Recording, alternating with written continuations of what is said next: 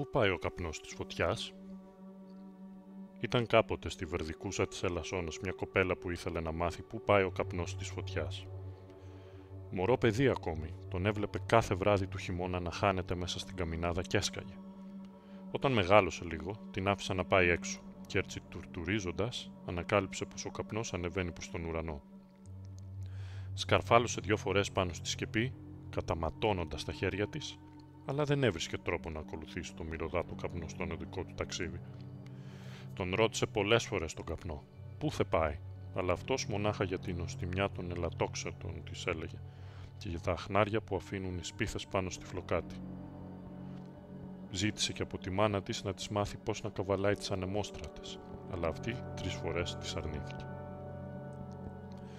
Μεγάλωσε κι άλλο το κορίτσι και έφτασε ένα βράδυ που έμεινε μονάχος στο σπίτι. Ήταν Δεκέμβρης τότε, τη νύχτα του χειμωνιάτικου ηλιοστασίου, και είχαν ξεμείνει στην καλύβα μέσα στο δάσος λόγω ξαφνικού χιονιά. Το κορίτσι βρήκε ευκαιρία και άναψε τη μεγαλύτερη φωτιά που είχε δει το τζάκι τους, στιβάζοντα πουρναρόκλαδα και ελατόμπατσε, δρύινα κλονάρια και ψαχνά αρχοντικής οξιάς.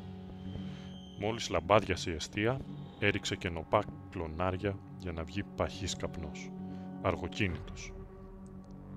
Και πάλι όμως, όσο και να προσπαθούσε να γατζωθεί από αυτόν, τα χέρια της πέρναγαν από μέσα του. Τότε φάνηκε στο δωμάτιο μια γυναίκα με σουβλερά νύχια και μαλλιά που έκρυβαν το πρόσωπο. Πριν προλάβει να φοβηθεί το κορίτσι, η γυναίκα της είπε να πάρει στις χούφτες της δυο αναμένα κάρβουνα, ένα σε κάθε χέρι και να χρησιμοποιήσει αυτά για πατήματα στον καπνό. Το κορίτσι πράγματι έπιασε δύο λαμπερά κάρβουνα και αυτά της έκαψαν τα χέρια. Βλέποντας όμως πως όντως μπορούσε να σκαρφαλώσει στον καπνό, έσφιξε τα δόντια και πήρε τον ανήφορο αφήνοντας παράμερα τον πόνο. Έφτασε πάνω στα σύννεφα και βρήκε ένα πελώριο καλύβι που μαζεύονται οι καπνοί από κάθε τζάκι και σόμπα και ξομολογάνε μυστικά. Έκατσε έξω από το παράθυρο και άκουσε πολλά πράγματα που μόνο ο καπνός τα ξέρει. Προσπαθούσε να μην βγάλει τσιμουδιά, αλλά τα κάρβουνα της έκυγαν όλο και περισσότερο τα χέρια και εν τέλει δεν άντεξε. Άφησε μία μικρή κραυγή, που όμως οι καπνοί την άκουσαν σαν βροντί. Αμέσως την τριγύρισαν, την έπιασαν και την κατέβασαν στο δάσος πάνω από το χωριό.